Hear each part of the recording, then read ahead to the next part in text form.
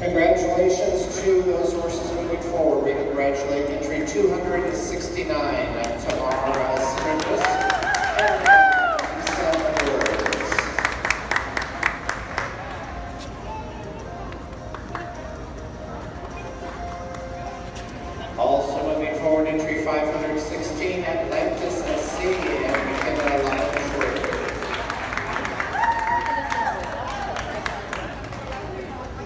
Anissa, come on over here, you need a ribbon.